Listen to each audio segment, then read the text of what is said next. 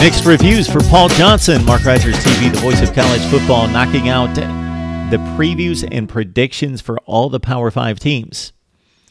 We are smack dab in the middle of the ACC. We have delivered uh, previews and predictions for the entire Atlantic Division. We're in the Coastal with Georgia Tech. Please check out the videos from the Pac 12 and the Big 12, plus the summary videos in which we explain the standings and where we had some challenges making our decisions for the conference championship and conference championship game. All right, let's talk Georgia Tech football. Paul Johnson, is he doing a good job? Well, he's been there in Atlanta for quite a long time, and the recruiting rankings would speak to him really developing players and his teams playing past their talent.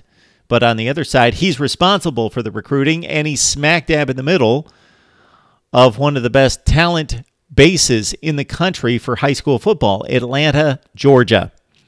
All right, and the trajectory for Paul Johnson is going down. Not severely down, but it's it's sloping in that direction because if you look at the beginning of his stay at Georgia Tech, that's where he placed most of his big bowl teams and ranked teams in the top 25.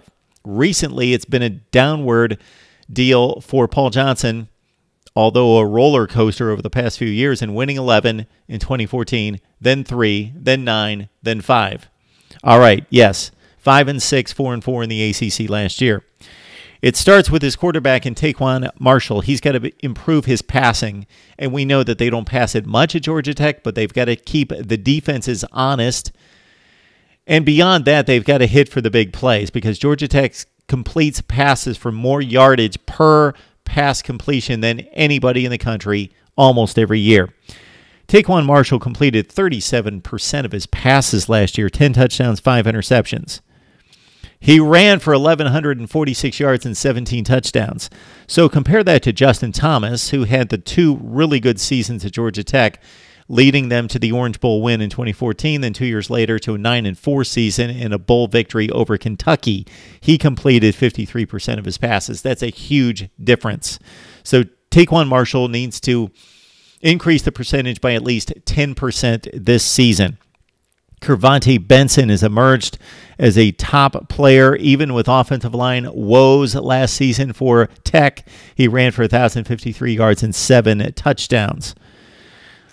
The pass success, success rate of this team is never going to be great, but as we mentioned, they hit for big plays when they're humming at peak efficiency in playing off of the triple option. Number 87 in the country two years ago, they dropped all the way to dead last, number 130 in the nation in success rate. These are the advanced metrics according to SB Nation and Bill Connelly explosive plays. They went from number three in the country. So again, the success rate's not going to be higher, the efficiency, but the explosive plays, as we mentioned, number three in the country two years ago, they dropped all the way to number 85. That's basically Taquon Marshall in the offensive line. So sophomore B-back uh, Jerry Howard did run for 7.6 yards per carry, but Taquon Marshall adverse to pitching the ball, kept it way too much. Uh, the offensive line experience is decent coming back. Wide receiver Ricky Jeune, again, you're not going to catch a lot of passes at Georgia Tech, but he made big plays, and he did catch, get this, 25 of the 43 pass completions for Georgia Tech last year went to Ricky Jeune. So he's gone. They're going to replace him either with uh, one primary receiver. And if you look down through the years of Paul Johnson offenses, they typically throw the ball to one guy downfield, maybe two, usually one guy, like a Ricky Jeune, 25 of 43 completions. This year is most likely going to be Brad Stewart or Jalen Camp. They're the candidates. Listen to these stats. Brad Stewart caught four passes last year for 100 yards, won a 60 yard touchdown against Virginia Tech. That's what they do.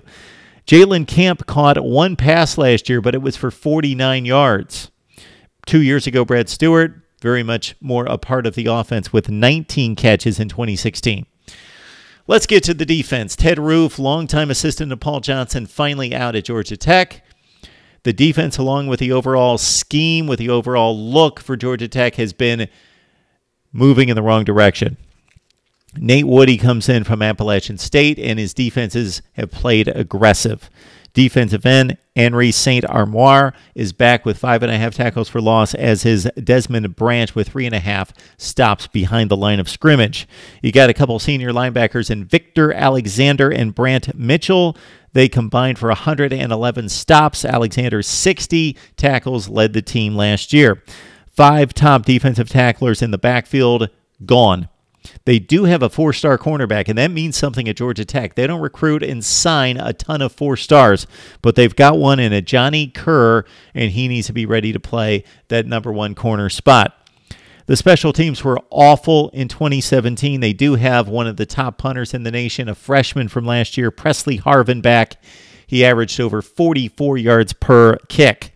The non conference is pretty rugged with, of course, the finale against Georgia on the road. They also have a date with South Florida in week two. All right, out of the Atlantic Division, they've got to play two of the better teams. Clemson, always on Georgia Tech's schedule. That's a, a severe disadvantage for the Yellow Jackets. And then they travel to Louisville as well. All right, the losses come against Georgia, Clemson, and Miami for sure. They're losing those three games. They go to Virginia Tech, they go to Louisville those are most likely losses as well. That's where, what we're going to give Georgia Tech right there. Five losses.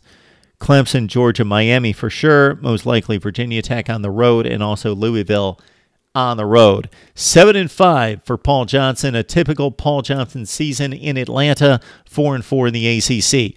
That's my record. Want to hear from you and get your prediction down in the comments section also, subscribe to our newsletter by sending your email to markrogerstv at gmail right here at Mark Rogers TV, the voice of college football.